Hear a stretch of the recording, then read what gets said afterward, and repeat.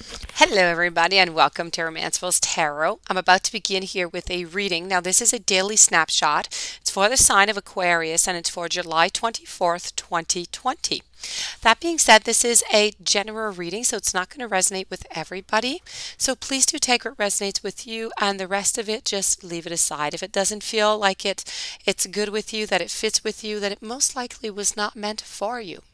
However, if you do have any questions and you would like to have a reading, um, a private reading, you can contact me at romancefulltarot at gmail.com and it'll be my great pleasure to send you the um, information on what type of readings that I can offer you. Also, if you have not yet subscribed to my channel, now's the time to click that little beautiful red button, the subscribe button, and you can click the little bell also. And like that, you will be notified whenever I put out new videos, which is pretty much daily, I have to say. So please do subscribe and uh, with no further ado let's begin this reading. So this is a beautiful um, enchanted unicorn oracle that I um, that I had ordered quite a while ago and it just came out. It's the most beautiful cards ever. So this is yours. This here is the mirth okay? So this here is called don't be so serious. So like the artichoke now, why am I talking about artichokes?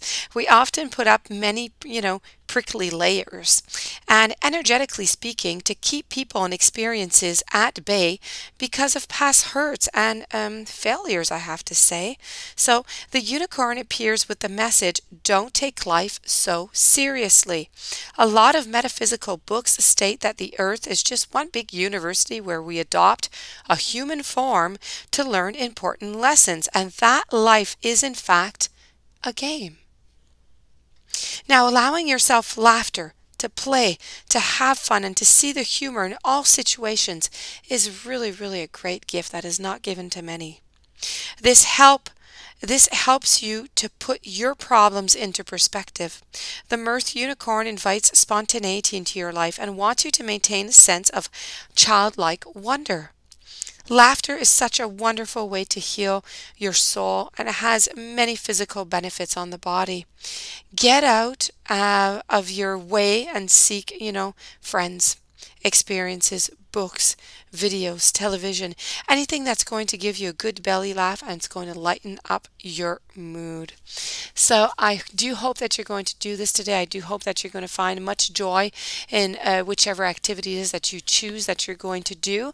New experiences, joy. Let's bring positive energy and much, much laughter. I wish you to tap into your inner child. Um, please do, if you do have any questions, contact me at romancefulltarot at gmail.com.